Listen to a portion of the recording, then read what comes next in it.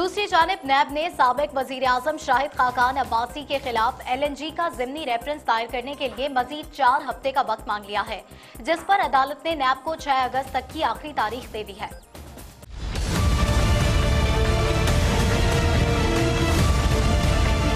इस्लामाबाद की एहतसाब अदालत के जज आज़म खान ने एलएनजी केस की समाप्त की, जिस दौरान कोरोना वायरस से सेहतियाबी के बाद सबक वज़ीर आज़म शाहिद खाकान अब्बासी और दीगर मुलजमान अदालत में पेश हुए। नैब के तफ्तीशी अफसर ने अदालत को बताया कि एलएनजी केस में कुछ नया रिकॉर्ड मिला है, जिसका जायजा ले रहे हैं। नैब प्रोसिक्यूटर इमरान मिर्ज़ा ने अदालत में मौके इख्तियार किया कि जिमनी रेफरेंस तैयारी आखिरी मराहल में है। रेफरेंस मुकम्मल करने के लिए मजीद तीन ऐसी चार हफ़्ते दरकार होंगे।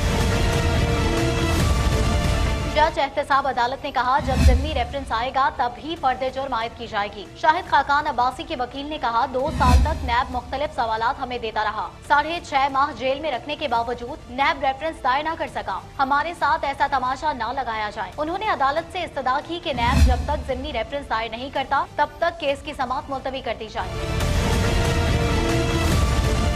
एहतसाब अदालत ने नैब को शाहिद खाकान अब्बासी के खिलाफ तफ्तीश मुकम्मल करने की हिदायत करते हुए छह अगस्त तक जिमनी रेफरेंस दाखिल कराने की हतमी मोहलत दे दी। जज आज़म खान ने कहा, जिमनी रेफरेंस दायर करने के लिए ये आखिरी मोहलत है। नैब तफ्तीश मुकम्मल करके छह अगस्त तक हतमी रेफरेंस दायर करे।